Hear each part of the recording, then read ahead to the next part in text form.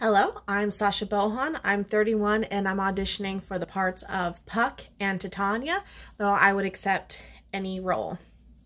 I'm going to do a monologue from uh, Macbeth.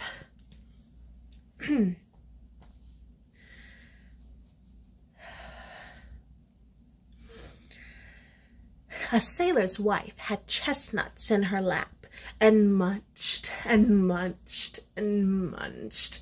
Give me, quoth I.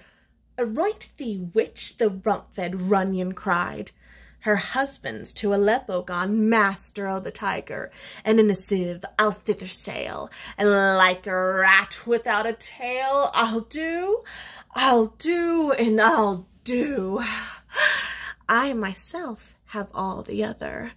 And the very ports they blow, all the quarters that they know in the shipman's card. I'll drain him dry as hay. Sleep shall neither night nor day hang upon his penthouse lid. He shall live a man, forbid. Weary nights nine times nine, shall he dwindle, peak, and pine.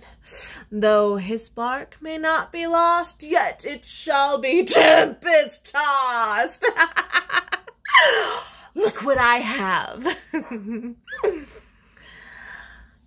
Thank you.